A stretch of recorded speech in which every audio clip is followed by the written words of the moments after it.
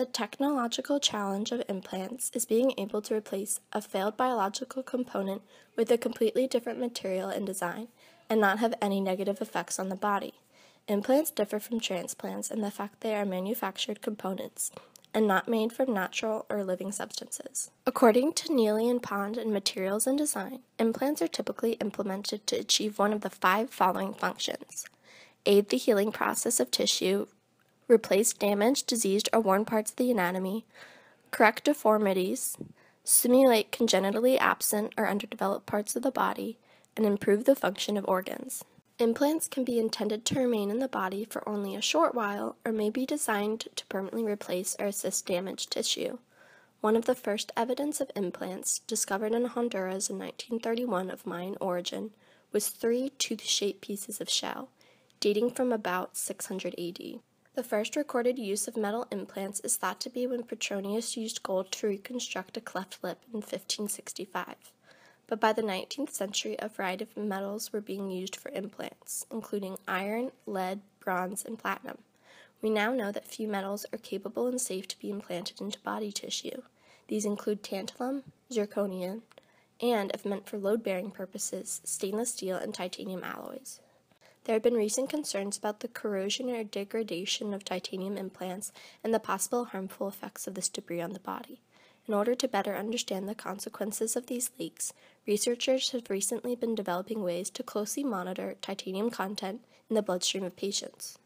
In order for the implants to do their jobs properly, efficiently, and safely, there are certain molecular properties that are needed to keep the implants from wearing down or damaging the body. Materials used for joint replacements in particular should have a low Young's modulus, or stiffness, to be most compatible with bone tissue.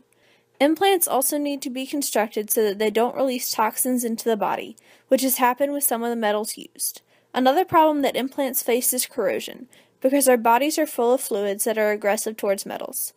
The type of metal can affect the corrosion, but a lot of the corrosion threats are taken care of during the processing of the metals. Implants also have to be able to withstand fatigue and wear for long periods of time in the body's harsh conditions. When it comes to finding the right material for implants, there are many benefits to titanium. First, it has the highest safety rating of all the materials currently being used for implants.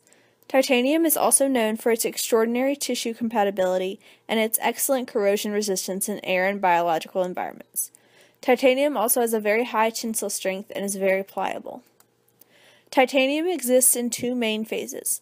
The alpha phase, which is the most common at room temperature, is a crystal structure with a hexagonal close-packed unit cell, while the beta phase, a crystal structure with a body-centered cubic unit cell, occurs at temperatures closer to titanium's melting point.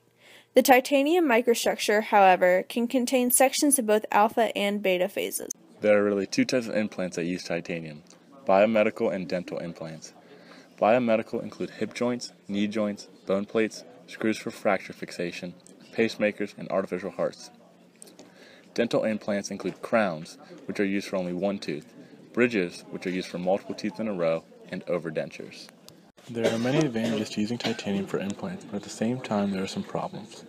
One problem is that there are lots of titanium alloys, and scientists do not always know what side effects these different alloys can cause. Alloys can strengthen titanium, but some titanium alloys are harmful to the body. Alloys of titanium, aluminum, and vanadium, for example, can be toxic to the body as aluminum and vanadium are released over time. Titanium and zirconium alloys are not toxic, but zirconium prevents the formation of calcium phosphate, making it harder for bones to grow and heal.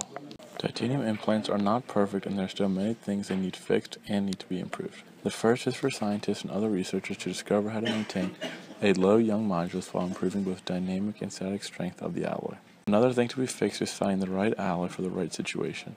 For example, there is a search for an alloy that can be used as an implant to fix a broken bone, but at the same time be removed without re-breaking the bone it just fixed. One of the primary advantages of using titanium for implants rather than other metals is that bone bonds to or fuses with titanium. Implants made of pure titanium or of some of its alloys form a titanium oxide layer on the surface of the metal that the body recognizes, does not reject, and actually adheres itself to. This is incredibly useful for helping implants serve their purpose, which is to replace failing hard tissue, such as a tooth or joint. Metal and bone, however, are not perfectly compatible with those materials, and that's where things get tricky. One of the major problems when designing and implementing implant technologies is stress shielding. When bone fuses to metal, the two components together handle whatever load the body has to bear. However, the Young's modulus, or stiffness, of bone and titanium are very different. Because the metal is so much stronger than the bone, the metal implant will actually bear a disproportionate amount of the load compared to the bone. This may not seem like a bad thing, but disuse causes a loss in bone density as the tissue resorbs and can actually cause the bone to fracture or disconnect from the implant. Now, stress shielding is less dramatic with titanium implants than with implants of other metals, because titanium can have a wide range of Young's moduli. Still, it's not quite low enough to eliminate the problem entirely. Material scientists and engineers are currently working to lower the Young's modulus of titanium without significantly decreasing the overall strength of the material, this is no easy task, however, as most processes that strengthen materials, such as alloying it with another metal, for example, anything that would change the interactions of the bonds, tend to raise the Young's modulus when you're trying to strengthen the material, as well as the tensile and yield strengths. There are some processes, however, that could help material scientists and engineers continue to make titanium strong enough to make lasting implants while still combating the effects of stress shielding. One such process is cold working. Cold working a metal involves forcibly altering its structure without melting it. With titanium, this is done by cold rolling the material, which is rolling and pressing it into thin sheets like you'd make an aluminum foil or a similar material, or cold swaging, which is when the metal is forced through a small opening and forms a rod, beam, or wire.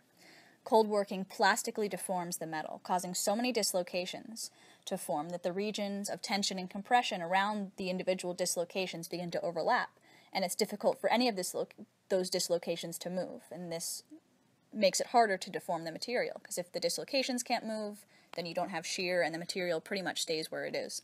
This particular strengthening process is favorable for titanium implants because it increases the strength of the, material without increasing the Young's modulus, thus helping to optimize these two properties. This, however, still does not completely solve the material's challenge. Titanium can be strengthened without significantly increasing the Young's modulus, but the Young's modulus is still not compatible enough with bone. Perhaps in years to come, there will be a material that will replace titanium as the primary material of implants. It will need to have a high tensile strength, low Young's modulus, and not be toxic to the human body. This is a formidable challenge. For now, we'll rely on